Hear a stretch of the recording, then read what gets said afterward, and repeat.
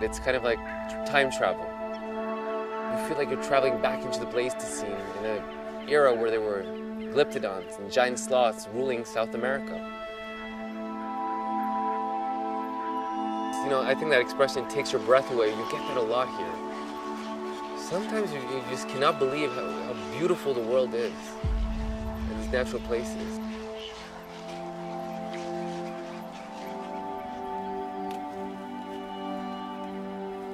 I, I, think in all of us, there's something of we all have, you know, an inner child and there's something. And if you remember back to that period, what were the animals that fascinated you? All, all, all, all kids are fascinated by dinosaurs, right? And here we have in front of us, you know, this prehistoric giant that's still around, that still that still exists. But the experience of being in front of a giant armadillo is extremely moving, and nothing can replace that. So here's a species we knew very little about. Few people have ever seen and yet they play an important role in the ecosystem. We're gonna go look for one of our giant armadillos called Isabel. You can see here a fresh giant armadillo burrow. She has dug this burrow. You can see the huge hole. She's down under there sleeping. And then at night she'll come out to go forage on ants and termites.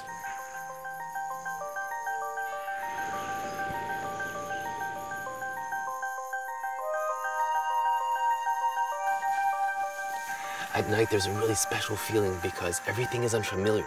So a place you know very well, you can actually get lost in. We need to capture these animals to be able to learn more about them. And I just love the feeling, you know, everything about these animals, the smell, the size, the strength. It's really just a, a fantastic moment just to see these animals. And even now, after five years, my stomach clenches, my heart beats, races when I see one.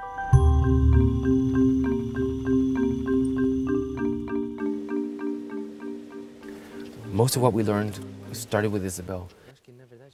If we count the white bands and gray bands, we can recognize individuals. On her head, Isabel actually has a beautiful flower.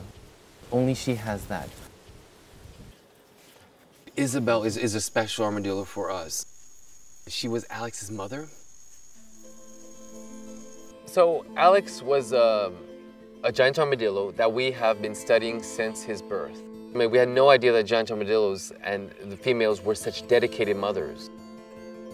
Unfortunately, Alex was predated before we were able to finish learning about him.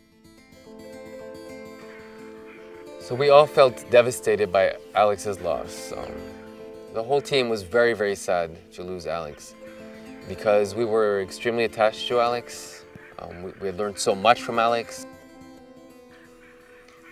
We just couldn't believe it had happened. It was such a dramatic end to the story.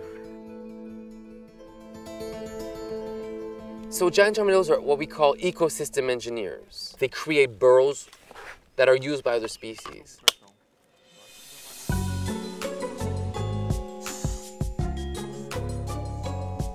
We've documented over 30 species using giant armadillo burrows. So it's a great place for species to seek refuge against the extreme temperatures of the Pantanal. And this means also that because of all the species using it, that it also attracts predators. Here's the signal. So we're gonna go, um, we're gonna search for one of our giant uh, anteaters. Since 2013, at the same time as giant armadillos, we also study giant anteaters.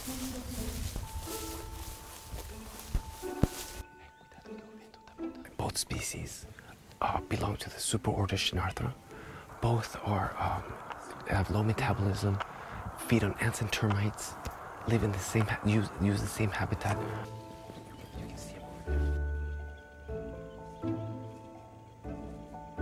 This data is very important for us. We're looking for underst better understanding the giant armadillo so, this is also part of our work. It's very important. Um, what we're doing now is just looking at the animal, physically checking the animal, because all the data is being collected um, on the on the that box you saw attached to the animal. That collects GPS points, so exact locations of where the animal is.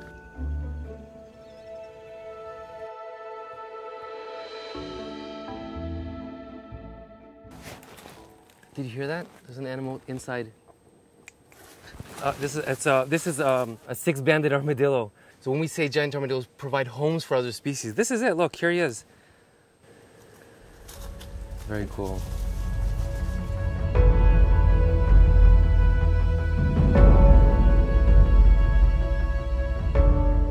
Every day is very different. That's what it, that's what it's exciting and what's what keeps it fresh. Every day we see something new. We learn something new. We see new things.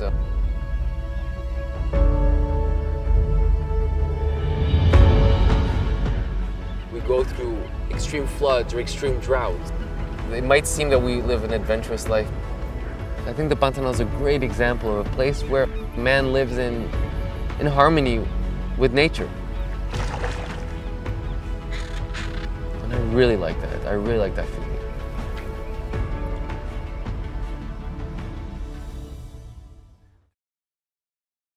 To all the zoos and aquariums that have so altruistically supported this great project to learn more about the giant armadillo, many, many thanks from all of us who are interested in the wild creatures of this planet.